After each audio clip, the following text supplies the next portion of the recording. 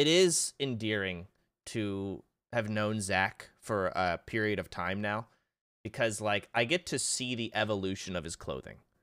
What I mean by that is I want to say like 3 years ago, 4 years ago maybe, Twitch sent out a box uh, like a hey, partnered streamer, here's a box of goodies and they gave us shoes.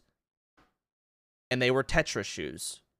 I saw him wear those Tetris shoes. I know he got them for free and he unironically wore them just in his everyday life.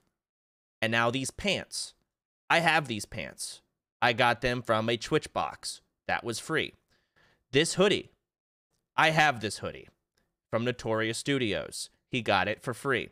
And he just wears the free shit, and I get to see all of it years later. Zero dollar drip. That's what it is.